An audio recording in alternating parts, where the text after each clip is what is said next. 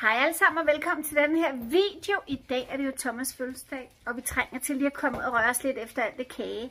Og Sofia er ved at tage sin rulleskøjter på. Vi skal ud og se Sofia rulle i dag. Ja, det bliver lidt spændende. Jeg ved jeg jo ikke lige, om jeg kan gøre det uden at falde. På grund af, jeg har ikke prøvet det udenfor. Nej, men det bliver spændende. Jeg ved i hvert fald, du har øvet dig lidt herinde, og der gik det jo rigtig fint, ikke?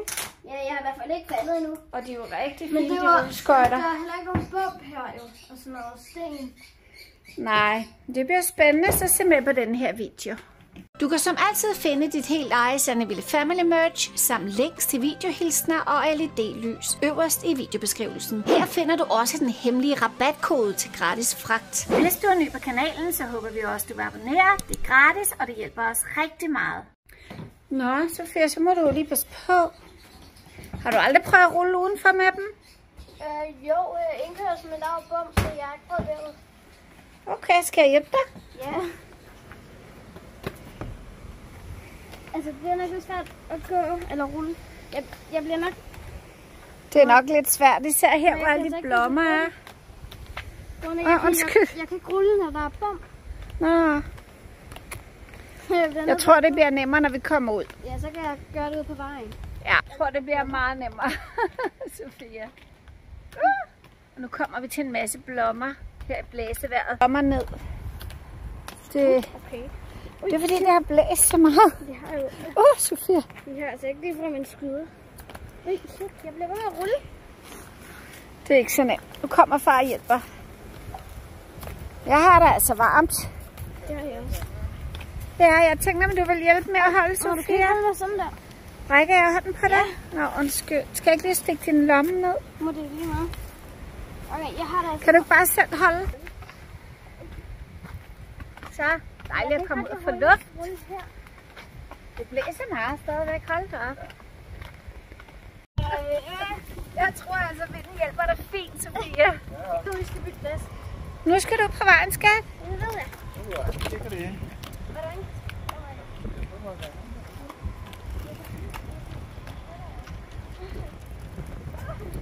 Gør det godt, Sofia. Det kan være, at blæsten hjælper dig på vej.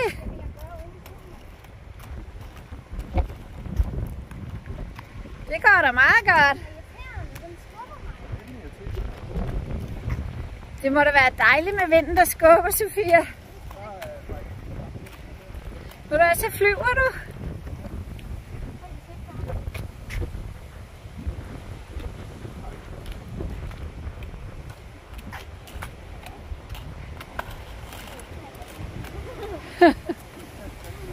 Er det svært? Ja, det bliver nok nemmere op på cykelstien. Så, nu kan du løbe med hende. Løb, Thomas! Tag hende med med vinden! Ej, pas på.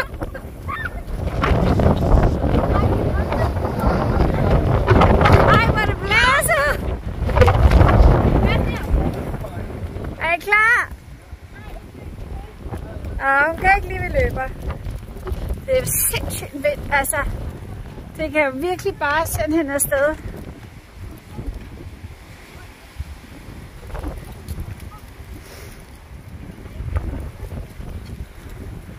Jeg tror, det bliver nemmere for Sofia, når vi kommer hen og finder der sådan en cykelsti. Nu er vi snart oppe i cykelstien, Sofia.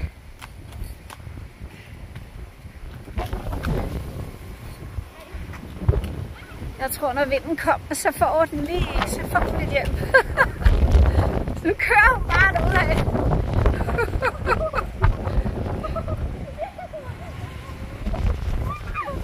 Oh den er, den ja, det er også stormstyrke, tror jeg. Måske var det lidt dårligt at gøre det i dag. Nu var der kommer orkan. Nå, lad os prøve at gå her. Ja. Det godt, vi ikke har hundene med, så har de lettet. Og jeg tror, vi skal gå den vej.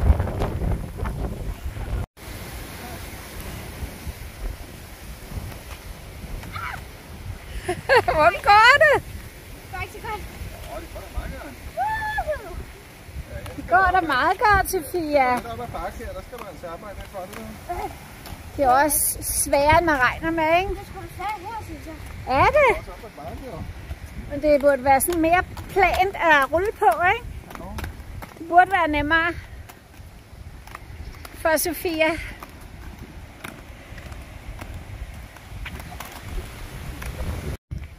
Ej, det blæser helt sindssygt her, altså. Men det går også meget godt med Sofia. Hvad så? Flyver hun? Flyver du, Sofia? Du går ned ad bakke, altså.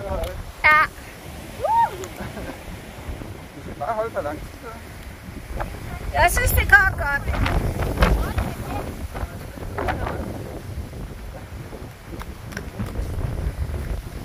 Uh, er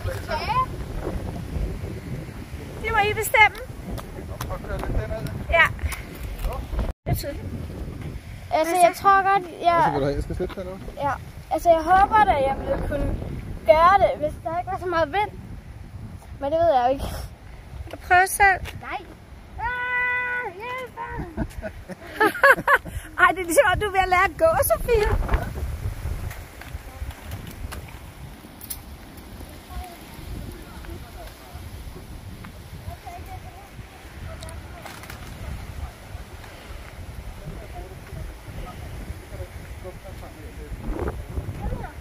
Ej, er det sådan? Er det det, man bruger dem til? Det er Jeg det, du bruger troede, dem til. Nej, du jeg.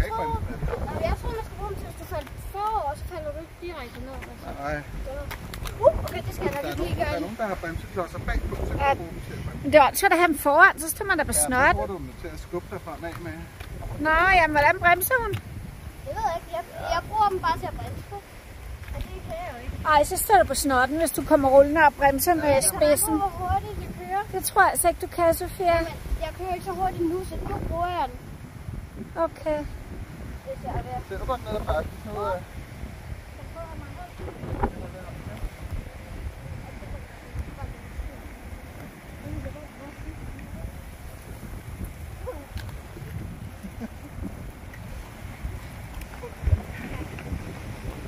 Sofia.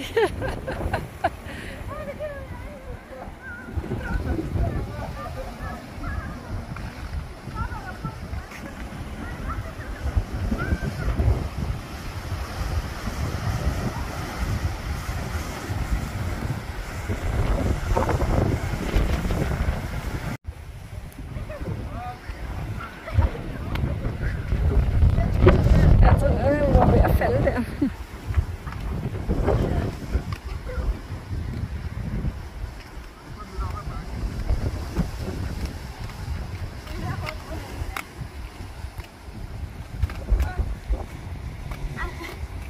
Er det svært? Ja. Man glemmer nok, hvor svært det er i virkeligheden, ikke? Men det var bare, det er nemmere på gulvet. Du står også på skateboard, ikke Thomas? jo, jeg står på Åh, jeg skateboard. tør ikke stå på skateboard på grund af, så Det har er vi det. noget. Olli, og hvad er det? Ollie, det er nogle, man, øh, man øh, slår, øh, man slår enden af brættet ned i jorden, og så Åh, kan du hoppe med ikke? Nå, jeg åh. troede, at det var lidt sødt op. Og så Faktisk så højt her.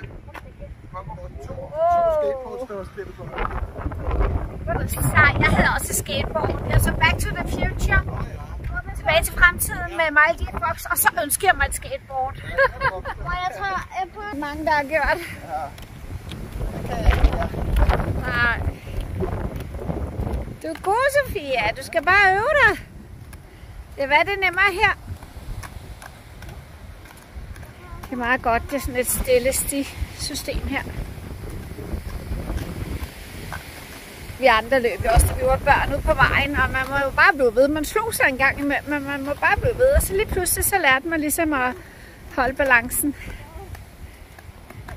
Det er ligesom, når man skal lære at cykle, ikke? Der falder man også i starten.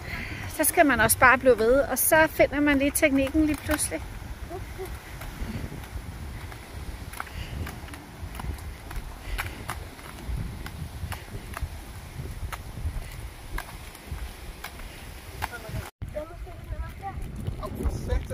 Kørte over min store tog. Åh, jeg holder fast i dig. Og det er fars fødselsdag. Du må ikke invalidere ham.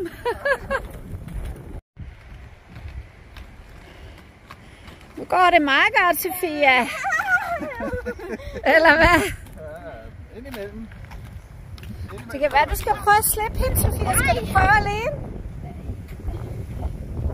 Bare lige så stille.